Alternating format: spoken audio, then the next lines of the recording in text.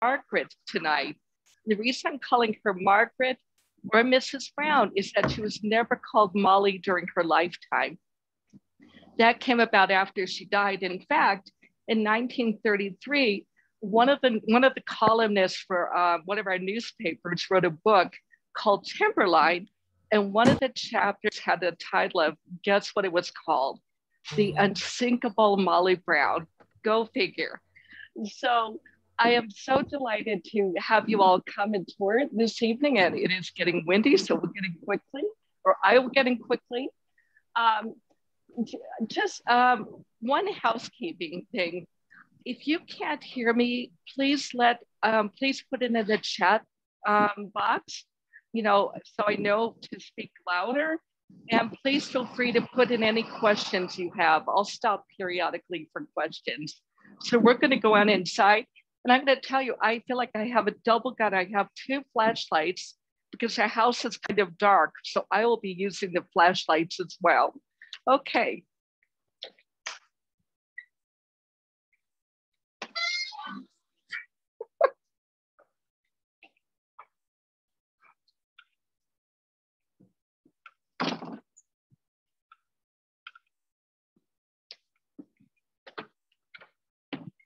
Left this here.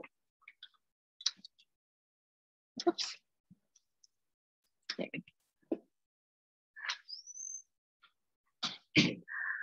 So um, I want to tell you a little bit about this wonderful house first.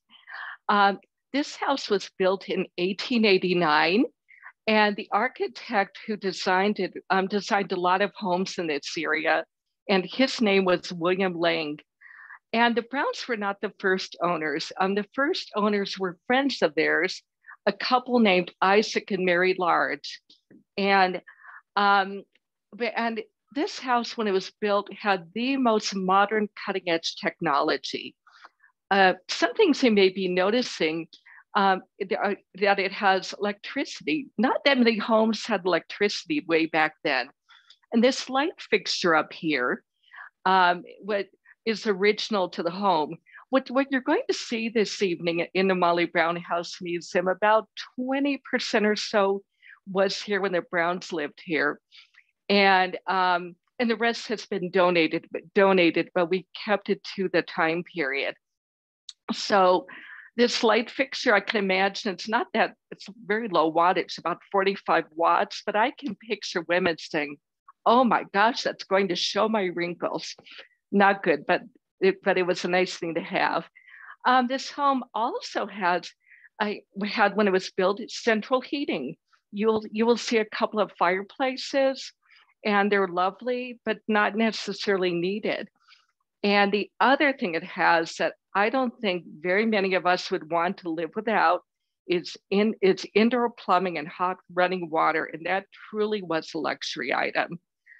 So I want to point out some things in this in this room. This is the entry, and one thing I should tell you is that the Browns had staff that worked for them, and their staff were of Irish. Um, they were Irish immigrants, and if you if somebody came to see Mrs. Brown or Margaret for for a visit, that visitor would be escorted to sit in an area of this room called the Turkish corner, and it's a little bit hard to see and I'm going to have fun with my flashlight here and show, see if I can show you a little bit.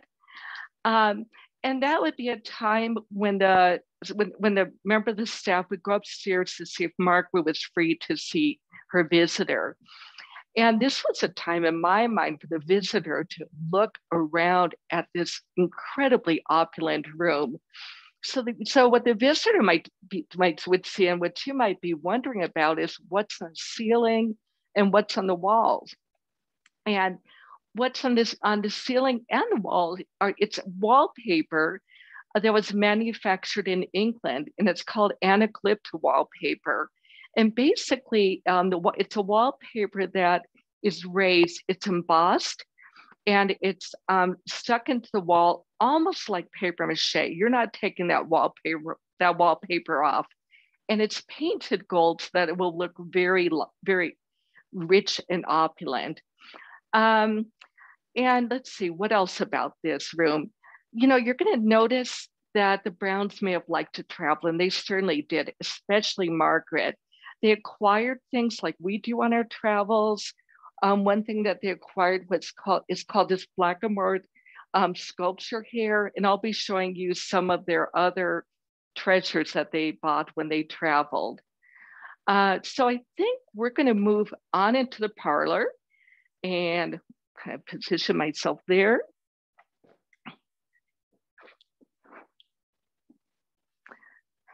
So if Mark was free to see a visitor, you would the visitor would be escorted into the parlor to have I'm going to put the flashlights down for a moment, um, to have a cup or to have a cup of tea.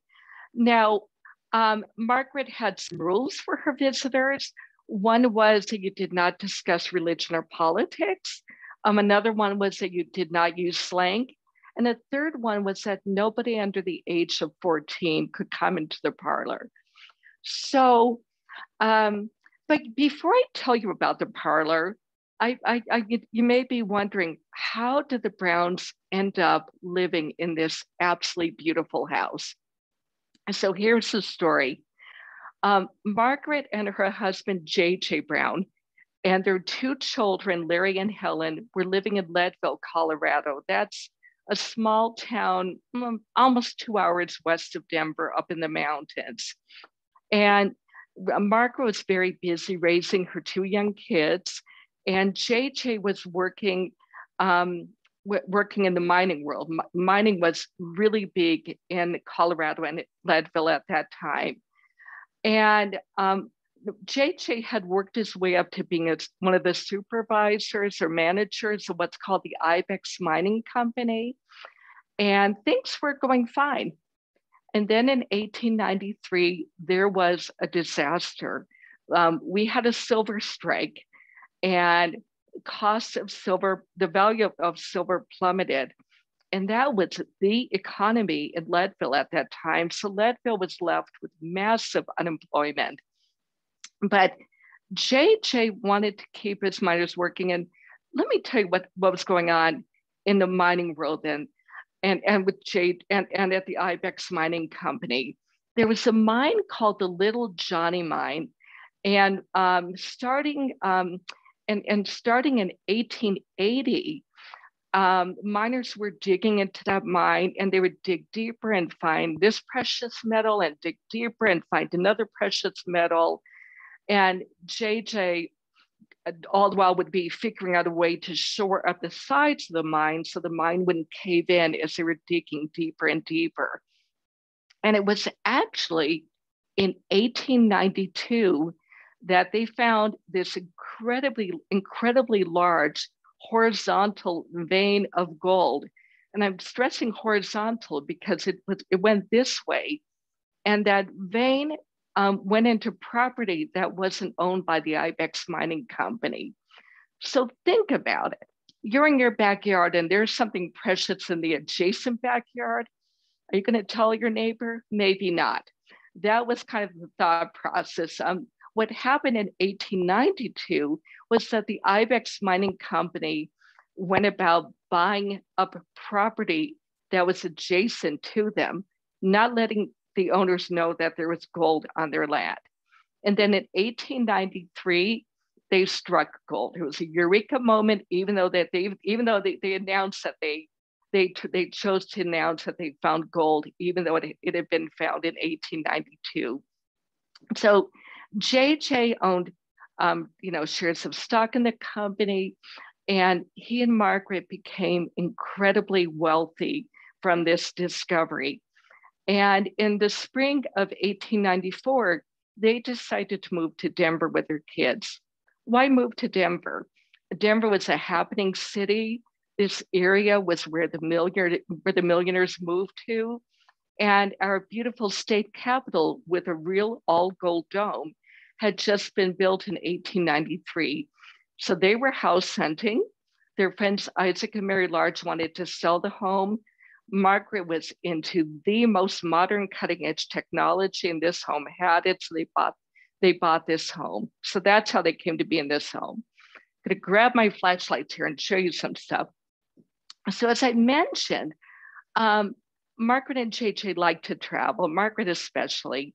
And one thing I should tell you is that Margaret was fluent in multiple languages, multiple. We're not just talking one language. So that travel, you know, being able to get around like that was really important to her. I want to point out, I think I'm going to use my flashlight here. Yeah. Um, this we have a sculpture here um, that they bought when they were traveling in Italy.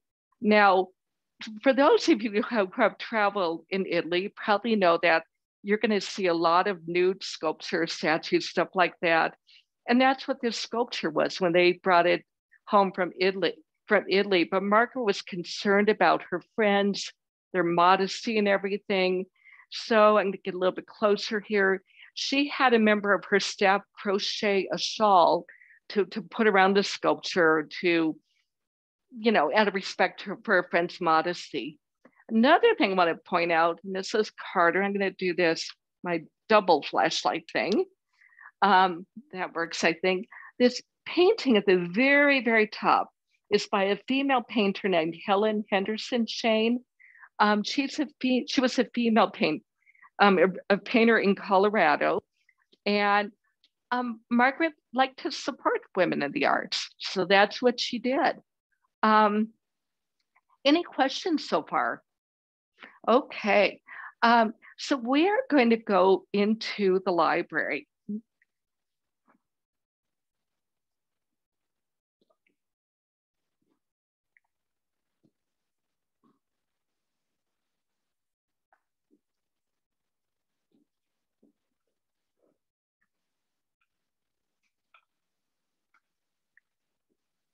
Are you ready? Okay, so um, we're in the library. What I, am going to put my flashlights down for a second. Um, so this library used to be a parlor when um, when Isaac and Mary Large, the first owners, moved in, and um, Margaret converted it into Margaret and JJ decided to convert it into um, library, and um, and this is a good point. I, and I wanted to show you something. These bookcases here, these are original to the library. They were here when the Browns were here. So I wanted to talk about Titanic. Um, a lot of people come to the Molly Brown House Museum because they hear about, you know, Mrs. Brown and Titanic. So I want to tell you a little bit about that. Um, and I'm sure you probably already know a lot about Titanic. But as you probably know, um, on the night of April 14th, 1912, just a little bit before midnight, um, the Titanic um, uh, the ship struck, struck an iceberg. Um, what you probably don't know is that the time between the sighting of the iceberg and when it struck it, when it was less than a minute. So there wasn't a whole lot of time to avert that disaster.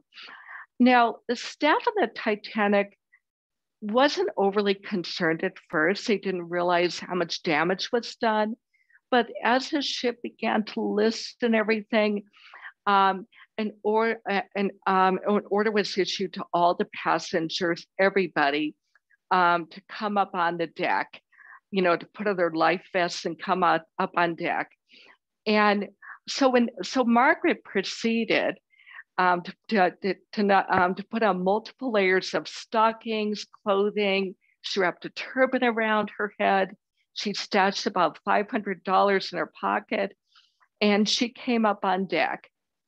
And Margaret was the kind of person who really wanted to help out. That was her that was her way to assess the situation and to try to help out. So um, so and, and a lot of people like Margaret were just milling about. There were there were 20, there were a combination of 20 lifeboats and collapsible boats. And this is for about 2,200 passengers. Um, and what was happening is that the passengers uh, early on did not want to get on the lifeboats. You know, it, it was like, why would you want to leave this beautiful ship with all the lights on its warm to go down into lifeboat into the pitch dark blackness and you know be lowered be lowered into the freezing cold Atlantic. So the first lifeboats that that um, that left were not full. It wasn't until towards the end that the lifeboat that the lifeboats were overflowing. But Margaret's walking around. She's kind of assessing the situation. And next thing she knows, two staff members come up behind her. They lift her under her, under her arms and they lower her about three or four feet down into lifeboat number six. And lifeboat number six could have held 65 people, um, but there were only 24 people on it. So um, Margaret and others set about, they took up oars, started rowing. Um, it was so bitter, bitter cold, parched. They wanted to row to keep warm. And I can picture Margaret taking off this layer of clothing and that to give to other people to stay warm.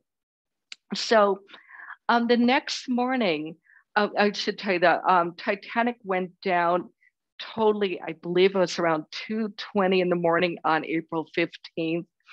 And um, the, these 20 lifeboats and collapsible boats combination, they were rescued the next morning by a ship called the Carpathia. And the captain of that ship was Captain Rostron. And the captain, the staff, the people, the, the passengers on the ship could not have been more wonderful, you know, giving up, you know, rooms, blankets, you name it. Um, and, and, Mar- and Margaret decided, you know, she wanted to, again, to help out. So Margaret took it upon herself to talk to different passengers, and she talked to not the wealthy passengers, they pretty much all knew each other, but she talked to other passengers. And what she learned is that a lot of these passengers were immigrants. They were coming for a better life in America. And all that they had was on their backs, everything else, bottom of the Atlantic. so Margaret, um, with a with a few other wealthy passengers, um, decided to start a committee called the Titanic Survivors Committee. And they set about to do fundraising. And they were really good fundraisers. Uh, what they did is they set up a sign um, uh, outside the um, uh, outside the, um, the main dining room, and they would list the names of people who had donated and their and the amount. And then they had another blank sign and a list and the list of the names of people who hadn't donated. So there was massive competition, I think a little bit of guilt among the, the other wealthy passengers to donate. And in the three days it took to reach the New York City harbor, they raised about the equivalent of $200,000 in today's dollars. So um, the Titanic Survivors Committee would go on to legislate for better maritime safety as well. So, um, but but I want to talk about the library. Um, I think what this meant to Margaret. Margaret, let me tell you a little bit about her background. Uh, Margaret was born in 1867, two years after the Civil War ended, and she was one of six children. The parents were Irish Catholic, were Irish Catholic immigrants named John and Johanna Tobin, and they and this family of eight lived in a four-room cottage in Hannibal, Missouri. They were dirt poor. John and Johanna Tobin decided to put all six children through eighth grade, which was the equivalent of about a 12th ed- of about the, the equivalent of about a 12th grade education today. That would have been unheard of for a girl to get that much education. That wouldn't happen. And for this poor of a family to have all six children in school when those kids could have be out working and bringing in money, not heard of. So I always say kudos to, to the Tobins for doing that. But let me tell you, was an eighth grade education was not enough for Margaret. She wanted more education. So what she would see, so what Margaret would do throughout her life is she would hire tutors to teach her whatever she wanted to learn, whether it's languages, she played piano. And by the way, I should tell you, when she was learning to play piano, um, and, and when she was wealthy, she wanted her staff to learn whatever she was learning. Um, she wanted her staff to rise up in the world too. She never, Margaret never lost that never lost sight of the fact that it was an incredibly lucky break that she acquired the wealth that she and JJ acquired. So um, Margaret had other values. Um, she was very altruistic. Um, she was very, she was a philanthropist. She was involved. She was um, involved in the women's suffrage movement, and I'll be t- telling you more about that later on. She had a passion for the rights of children, for animals. She did a lot. Um, any questions coming up?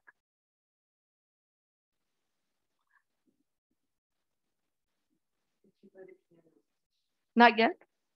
Somebody asked if she played piano. Yeah, she played piano, yeah. And she, she also knew how to yodel, knew how to do yodeling by, by the way. So she was quite accomplished. So we are going to go into the dining room.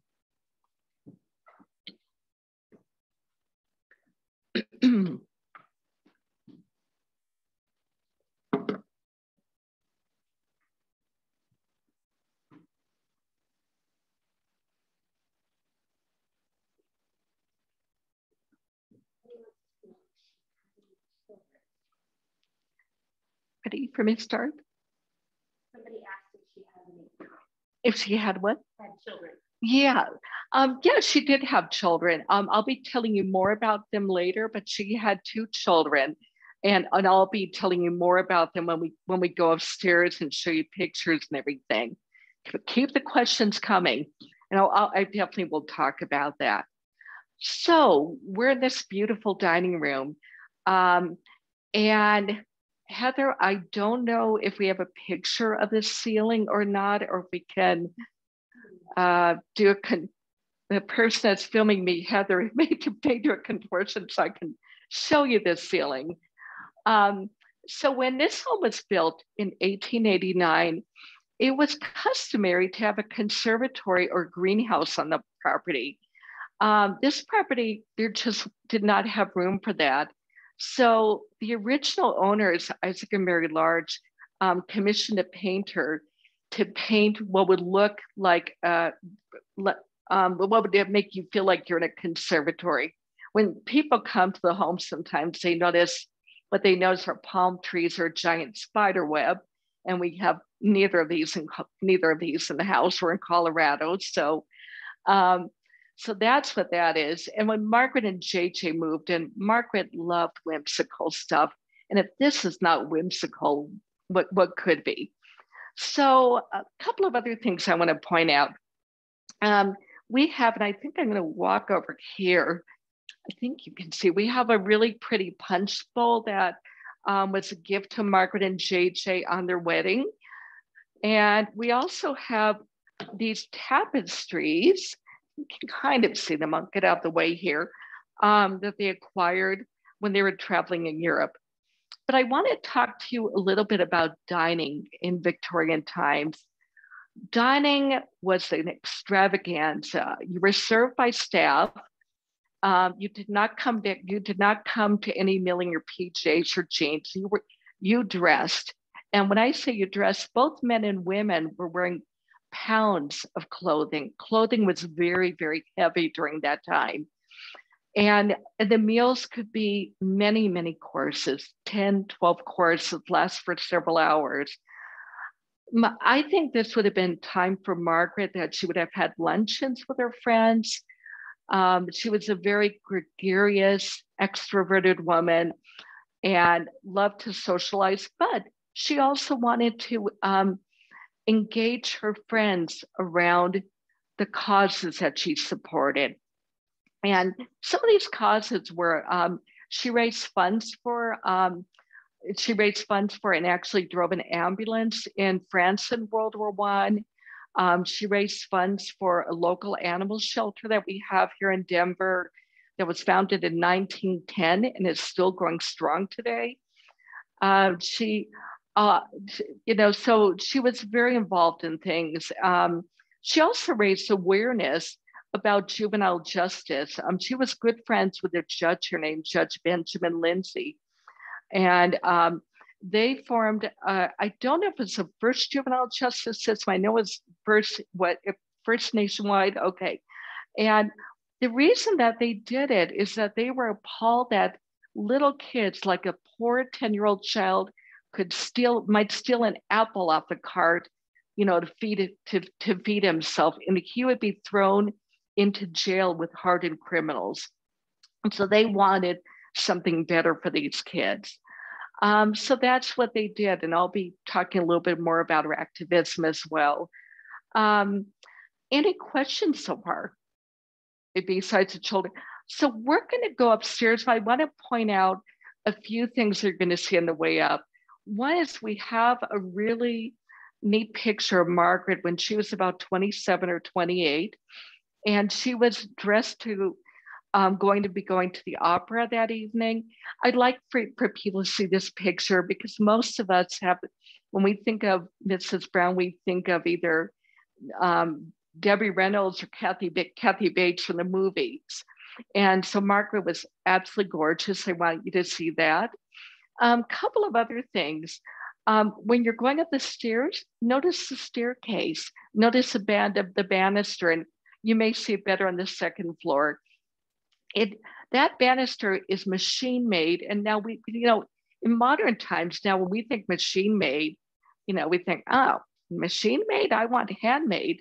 But keep in mind that during Margaret's time, this was um, post industrial revolution.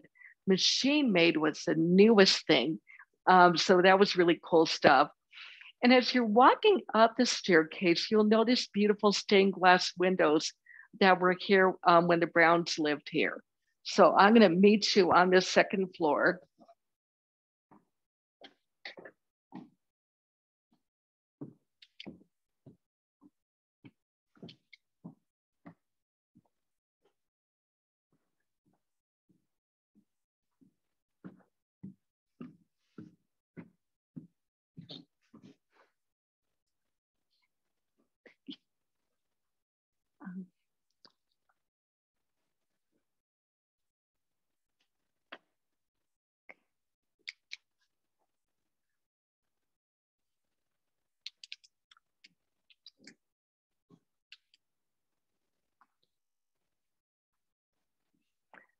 Okay, I'm going to turn off, turn off my flashlight for a second. Um, although I may turn them back on. I, so um, I'm going to ask, can people all see me or I wonder if I should. Okay, I'm going to play around with this, just give a little bit more light. Um, so, so we're in the sunroom, which right now is the antithesis of sunny. It's evening and it's pretty dark in here. Um, so this is a room that visitors probably wouldn't would not have seen that often, but it was a lovely place for the family to relax. And I'm going to point out a few things here. This sofa here is original to the Browns, not to this home. It's original to their home in Leadville. And um, the upholstery is, is horsehair fabric. And um, but I wanted I want to talk about the pictures, some of the pictures and and the people in them. So I'm going to focus on and Heather, do we have a picture we can show of the Browns? Okay, so um, I'm so I'm going to focus in on, and I know Heather is showing a picture of this of the Browns in Leadville, and and I'm gonna what I'm going to do is I'm going to talk about the kids, each child when we get to their room. But um, we have Helen, daughter Helen, on her father's knee, and that's JJ, Margaret, and then Larry. Larry, Larry um, came first, and then Helen. Sometimes people ask why why is um, Larry wearing a skirt or a kilt? That was commonly done um, for a family of modest means. They would put their young boy in a skirt because when you think about it, boys, little boys are growing fat, growing pretty quickly. You can let the skirt up, take it up and down. It's a whole lot either easier than to do that than with slacks. Um, so, um, and I want the time to show a couple of other pictures here. Um, can we show a picture of Margaret, her campaign photo? Um, Heather's going to show you that, and I'm showing you the original. Margaret ran for Congress three times, and I want to tell you a little bit about her. She was, um, and her involvement in the women's suffrage movement. Uh, Margaret, at one point, um, lived in Rhode Island and worked on women's suffrage women's suffrage causes to get women the right to vote. And something I should tell you is that women who did that in America were called suffragists, not suffragettes, as they were in England. The reason is, is that adding the et at the end, it was seen as kind of a demeaning kind of term. And in fact, um, here in America, if somebody called called a woman, you know, a suffragette, it was kind of considered a slur. Um, so they were called suffragists. So Margaret lived in Rhode Island and was very involved in getting, getting the women the right to vote. And this happened when um, the 19th Amendment uh, was ratified um, on August 18th, 1920. So she, she was involved in other causes too, but that's big. Um, I want to tell you a little bit more though about um, Margaret and JJ and how they met. So, so Margaret, um, after um, after she finished eighth grade, and she went to work um, at I, what I think is a rather yucky job. Um, she worked at a at a tobacco factory. Do you want me to kind of hold this up? Okay, she worked at, at a tobacco factory stripping tobacco leaves. So she did that for several years. When she turned 18, her older brother Daniel, with whom she was really close, um, sent her a letter. Dan- Daniel had moved out to Leadville, like out to Leadville, Colorado from Hannibal, Missouri. And like many men during that time, it was, you know, go westward, seek your fortune. And mining was a big thing in the West. Um, so Daniel encouraged Margaret to move out to Leadville. We don't know exactly what his letter said, but I'm thinking it may have been saying, hey, you're kind of, you know, kind of getting up there. Why don't you come out to Leadville? Maybe you'll meet somebody, get married. And he sent her the train fare um, to move out to Leadville. So she arrived in Leadville in early in the summer of 1886. And um, her her sister Marianne was out also out in that area um, with her brother-in-law John, and um, my understanding is that her brother-in-law and her brother um, it, it probably introduced uh, Margaret to this to, to this to this fellow that that they knew, James Joseph or James or J.J. Brown, and Margaret actually called him Jim, and they fell in love. Now what I what I will tell you is that Margaret had hoped to marry a rich man, and the reason that she wanted to marry a rich man was so, so that she could help out her parents. Um, but what she but but she really fell in love with JJ. She felt that she wanted to follow her heart rather than the pocket. So they were so they were married in September 1886 uh, up at the Annunciate up, up at the Annunciation Church in Leadville, and that still stands today. Um, so they had, um, you know, a good marriage for many years, but in 1909, the marriage beca- began to become frayed, and we don't really know what we don't know what happened, or you know, because they had had a very good marriage. What I can tell you is that JJ was 12 years older than Margaret. So there was a substantial age difference, but we don't know what caused them to break up. They did not divorce. They separated because they were strict Irish Catholics. And Margaret, Margaret got a sizable allowance in, in the house. And I will tell you more about JJ in a moment. But one thing I can tell you is that JJ died in 1922, and Margaret was very despondent when he died. Um, I'm paraphrasing what she wrote, but she basically said that there would be there there would never be a man as fine as JJ. So there was a lot of love there. Um, any questions so far? Somebody wants to know if it's tin on the wall. No, good good question. That that's a very good question. Actually, on the wall, I'm going to use my flashlights here. Um, on on the walls and also on the ceiling is, is what's called anaglypta wallpaper. Um, prior, prior to the pandemic, we would have a, swatch of fabric that I could show you. So you're just gonna have to trust somebody trying to create this for you. It's fabric that it's that's embossed, so it's raised a little bit and it's painted gold and it is stuck on to the wall like you would or like paper mache. I mean, you are not taking that wallpaper down. Um, any other questions? Is the house in Leadville a museum also? Is the house in Leadville what? A museum. Um, no, not to my knowledge. No. Um, if you're, I mean, if you live in Colorado, there's a tremendous amount to, to see in Leadville, but um, no, their house not a museum. I'm not even sure if it exists, and I'm being told it does. And so, okay. Any other questions? Okay, so we're going to go and look at the bedrooms. I'm going to tell you a little bit more about each person.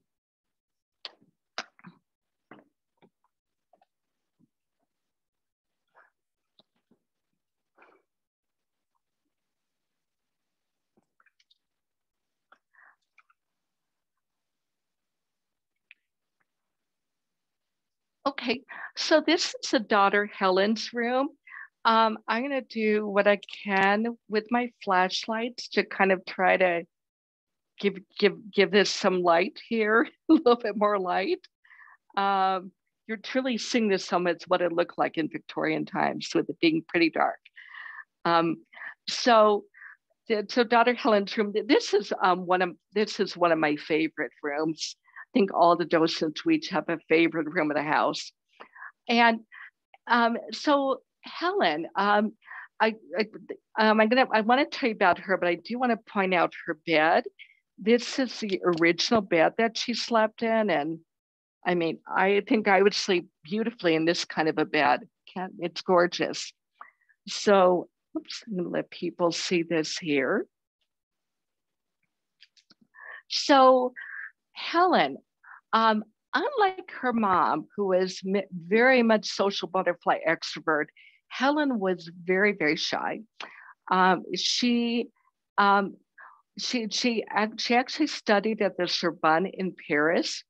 Um, she ended up marrying into a very wealthy publishing family. She married a gentleman named George Benziger. Um, and this is a publishing, the Benziger publishing family in New York City. And she and George Benziger ended up in um, the Long Island area. And I think we have a picture of Helen, who is beautiful with her two children, that we can um, show you. Okay. Um, so that's kind of Helen. Um, one of the things I should tell you, um, I mentioned, always make sure I mention this at some point in the tour, is that um, Helen and her brother Larry, you know, they both had children, they had grandchildren. So the, the grandchildren were JJ and Margaret's great grandchildren. The great grandchildren did not know their great grandparents, Margaret and JJ, who had passed away before they were born. But the great grandchildren are just thrilled that we have this beautiful museum, the Molly Brown House Museum, standing.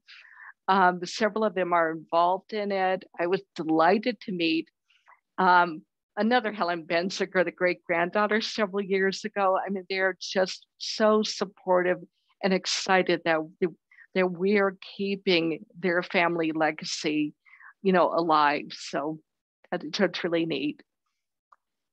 Any questions coming through? Okay, so we're going to move over to the next room.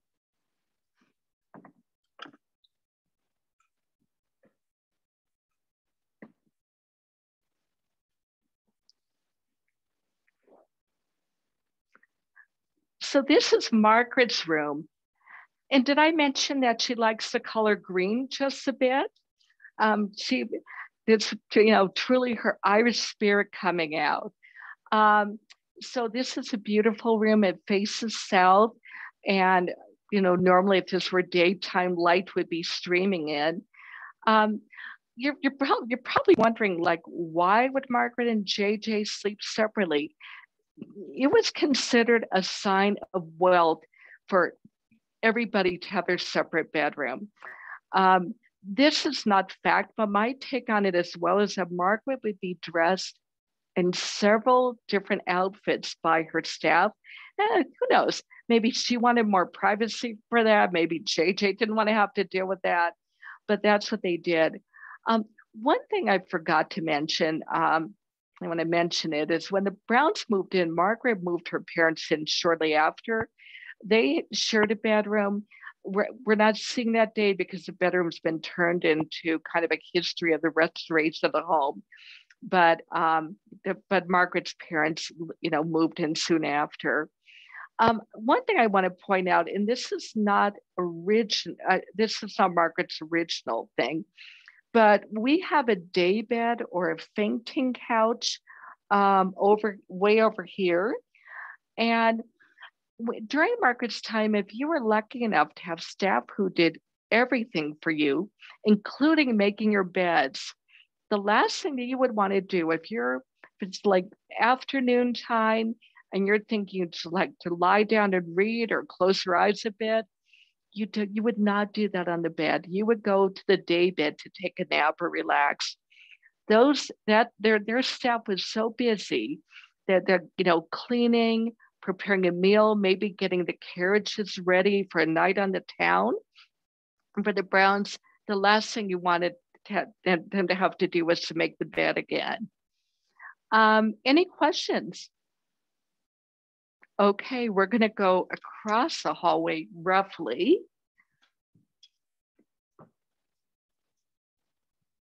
To JJ's room here. Okay, so this is JJ's room. You'll notice that it has a fireplace and um, this his room faces north, so even with central heating, it would be a little bit colder. Um, and this day bed here, this is this is his original day bed here, um, right in the corner. Um, and by the way, I should tell you, when you see how we've laid out the furniture, how did we know how to do this? Um, and we have some photos that maybe Heather, who's filming me, can show you.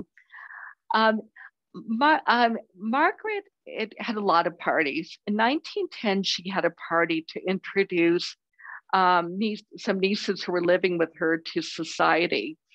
And at that party, she got she hired a photographer to take pictures of all the rooms except for the kitchen and the bathroom. And she had those photos labeled that was invaluable to us to see exactly how each room laid its furniture out. Uh, because the house, and I'll tell you about this later, went through different owners and different incarnations. So I'll tell you more about that. Um, so I want to tell you a little bit about JJ because he's an important figure too. Um, JJ was born in Western Pennsylvania in 1855. Um, like Margaret, he didn't go to college, you know, um, but like also like Margaret, he wanted to learn and he pursued education on his own. Um, when he was not very old, maybe late teens, he moved out west and he lived in different areas like Nebraska, um, South Dakota. And when he was living in South Dakota, he was pursuing being a miner.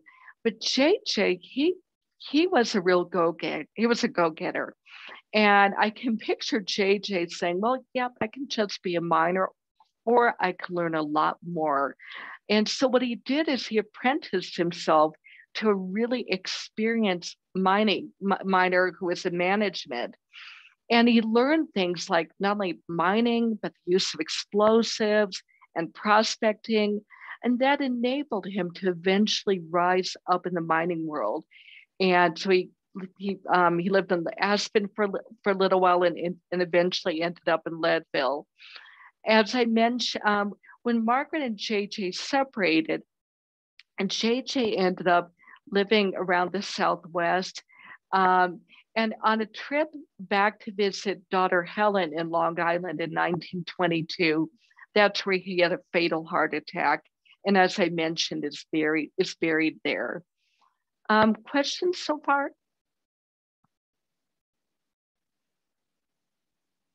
Okay, so we're going to move on a little bit.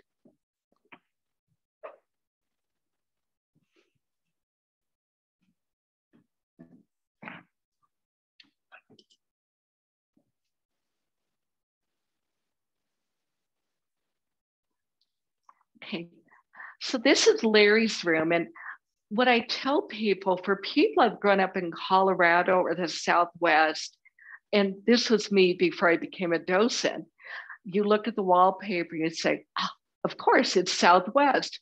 And actually, it isn't. This wallpaper was popular in the period when the house was built, and it's of like a Turkish design, so it's not Southwestern. So to talk about Larry, um, kind of high phrase, talking about Larry, I feel like Larry is a child. You know, every family has a child that's going to give the parents more gray hair. And Larry was it, bless his heart. But Larry, he um, he did go through high school and he went and he went through college. He attended um, what was called the Colorado School of Mines. That school college still exists. It's about 10 miles west of Denver finished college. Um, he served in World War One in France, and sadly, he was exposed to mustard gas. Very, and he ended up in the hospital for several months. He was married, and then he divorced. His parents were furious that he divorced. Um, and he ended up they getting back with his wife with the wife he divorced again but they eventually were officially divorced and um, he finally ended up marrying a silent film actress. And I can remember her first name, Mildred, not sure her last name, but and um, but in any case, he married a silent film actress, and they eventually ended up in Southern California in the movie industry. He wasn't acting, but in the industry. So, um, so that's where he ended up and kind of found himself and settled down a bit. Um, any questions? Okay. What's your what? Is there an attic? Um, there is an upstairs. Um, we're not going to see it today. Um, I don't believe that there's an attic. Um, it, the upstairs was used, um, it housed the female staff. Um, the male staff, you're not going to see this today. We have what in the back um, what the Browns installed, what's a carriage house, literally for the horse and carriage um, but it's now where we sell tickets for people to come to the museum. We have an incredibly wonderful gift shop, and and a male staff uh, were housed in the second floor of the carriage house. But on the third floor now, um, we use that um, when we can get back to it. You know, when things are a little bit safer, we use that for social functions, high teas. Um, we do have a room up there and I think um, I may be able to show you a picture of it towards the end of the tour, possibly um, what, what we think a servant's room might look like, but we don't have an actual photo of it. Yeah, but there's not an attic. Any other questions? Okay, so Heather, I'm going to talk about the bathroom, but Heather's going to show it to you. Um, this is the most original room on this floor. And every fixture here except for the tank above the toilet that was donated by somebody. Um, every fixture was used by the Browns. And she made people ask sometimes, is this the only bathroom? Because when you think about it, it was um, Mr. and Mrs. Brown, the children, and Margaret's parents, six people using one bathroom. But that was a lot more than most people had. So that's the bathroom there. So I am going to meet you all downstairs.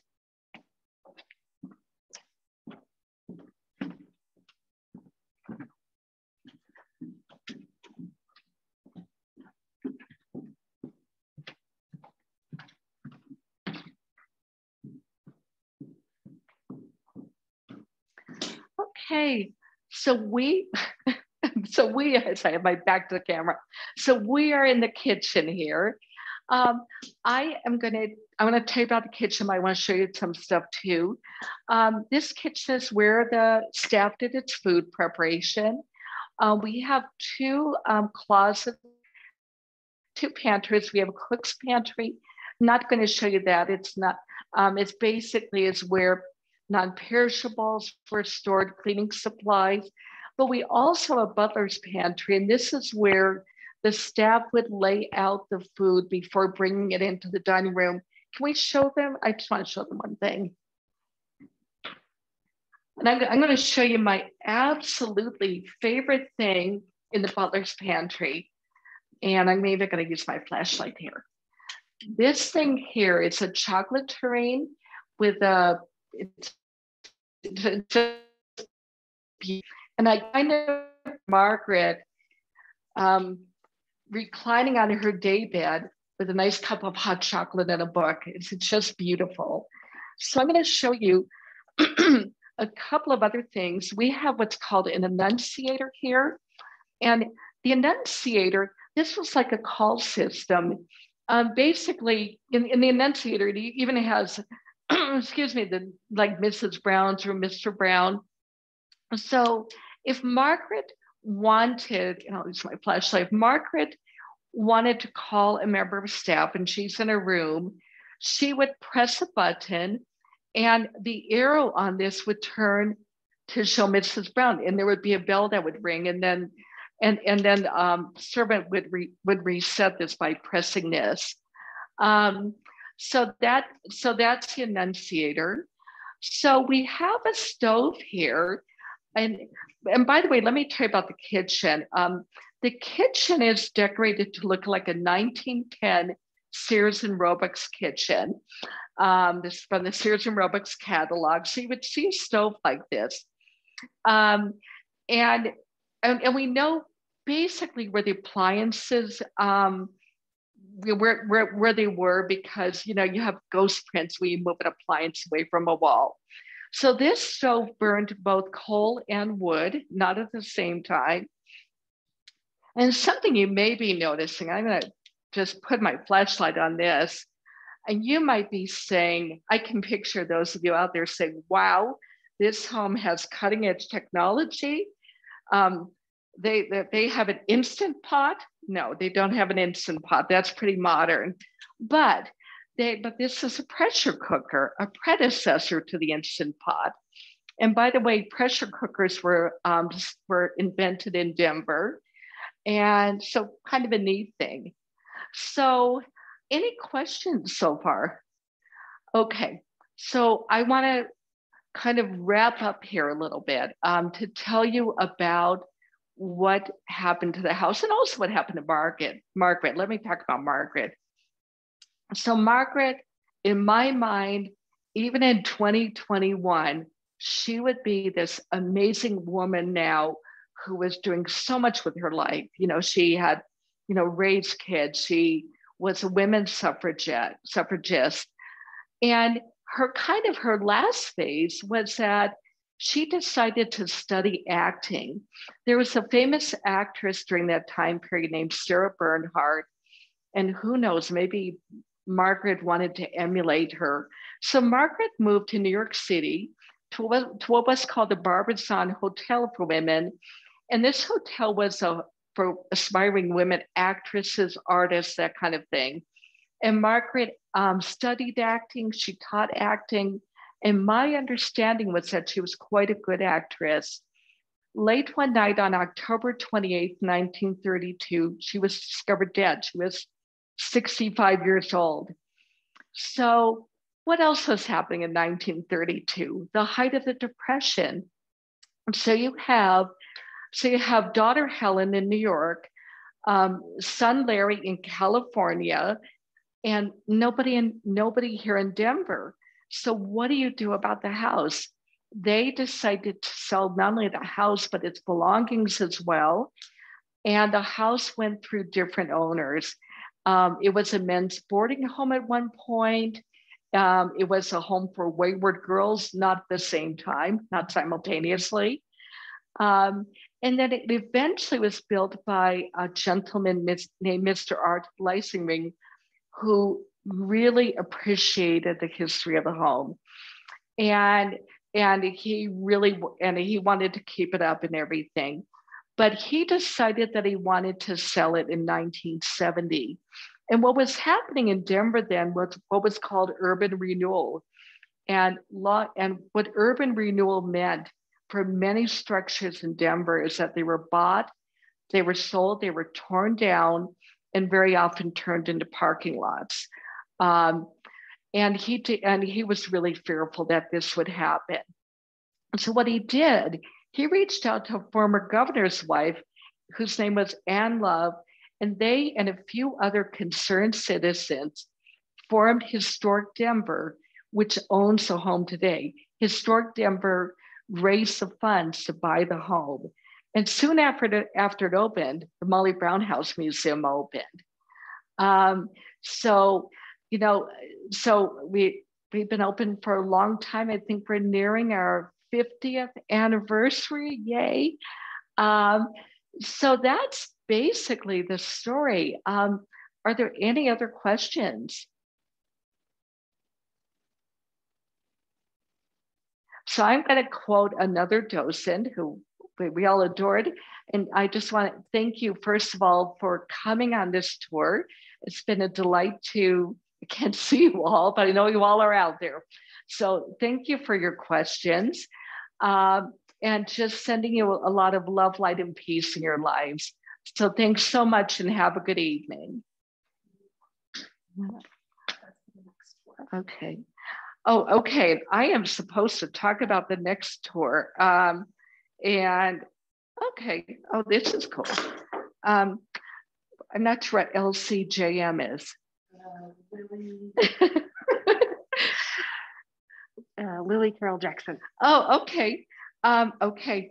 So uh, um, the next tour that's coming up is about Lillie Carroll Jackson. It's the Lillie Carroll Jackson Museum and I know I'm looking down at, at this phone. So, born in 1889, Lillie Mae Carroll Jackson was the seventh of eight children in her family. And in 1935, she became the president of the Baltimore chapter of the National Association of the Advancement of Colored People, NAACP. And she quickly grew the chapter's membership from 100 in 1935 to 17,600 in 1946, making Baltimore one of the largest chapters in the country. This is the next tour, by the way. Um, Lillie Carroll Jackson and her family became known as the Civil Rights Dynasty for the work they did that not that shaped not only Baltimore. I know we I know that we have one Baltimore attending here, um, but the nation.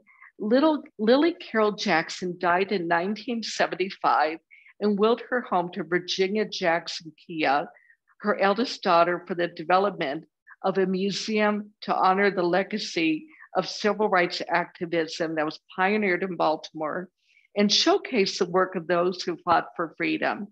In 1978, the museum opened as Baltimore's first privately owned civil rights museum honoring an African American woman. The museum is now a part of the illustrious Morgan State University's Office of Museums and continues to serve as a site for community active for community advocacy. And you can learn more about this museum. I'll give you the website. It's www.liliecarroll jack uh, jacksonmuseum.org. Um, and I think if you look on the website, actually, um, for, the, for, for the Lombard organization where you register tonight, you can click on these museums to learn more about it. So I hope you will partake in other tours as well. And I truly hope that you enjoyed my tour tonight. I certainly enjoyed touring you all. We have one last question. Oh, of course. Just why did uh, the book author choose Molly instead of Margaret? Um, this is my, and I may I may get the person Heather's filming, and she oversees the Speakers Bureau. But so Heather, please correct me if I need more information. Um, you, you know, uh, newspapers in that time when Margaret died in 1932, we had new, two newspapers. And if you've seen newspapers of that time, there's a lot of hype. I mean, this, we're not talking the New York Times we had the Rocky Mountain News and the Denver Post, and there were tons and tons of newspapers in towns, and they were pretty sensationalistic. Um, and I don't recall if in one of her obituaries what she called Molly or yeah, so she was called Molly. And I do know in at least one of them that they spoke about Margaret in not very flattering terms. And it was in 1933 that the columnist Eugene Fowler, I think he was with the Denver Post, that he wrote this book called Timberline. Um, and I had to get a hold of it because I had to read it. Was, Timberline was basically stories of different Colorado personalities, one of whom was Margaret Brown, it who called the unsinkable Molly, you know, titled the, the unsinkable Molly Brown. And my own personal reaction, you know, I think we're really appreciative. We want to correct the myths, and there are a lot of myths. when you see the movie, The Unsinkable Molly Brown. Um, but by the same token, being aware of, you know, Debbie Reynolds herself gave tremendous support to get, to get this museum going. And we're tremendously appreciative. I, I don't think if it were, you know, people hadn't seen that movie, and then maybe later on James Titanic's Cameron, uh, or James Cameron's Titanic, that there would be such a drive to see, to see this home. But I think we're really appreciative of you know the publicity and the movies and Debbie Reynolds for helping to get things going. So, any other questions? Okay, well, thank you all for coming. Um, as I said, love, light, and peace to all of you. Um, I hope you have a very good evening. Take care. Bye bye.